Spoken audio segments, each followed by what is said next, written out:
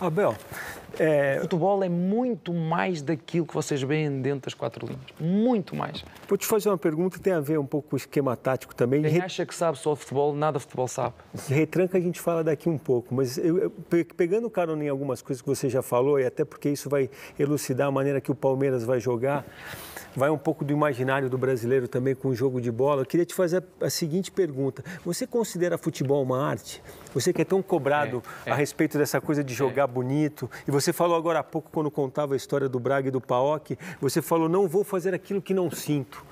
Verdade. Para mim, atacar e defender é uma arte. Saber defender é uma arte. Saber atacar é uma arte.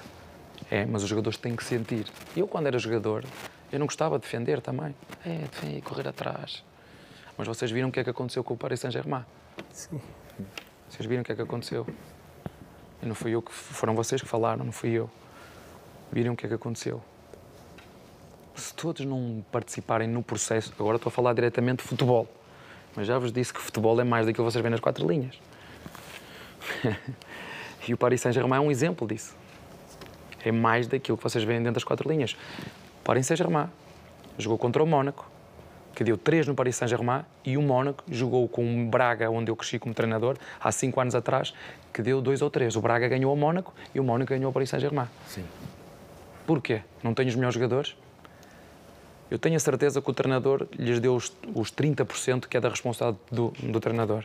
Agora, 70% é da responsabilidade de quem joga.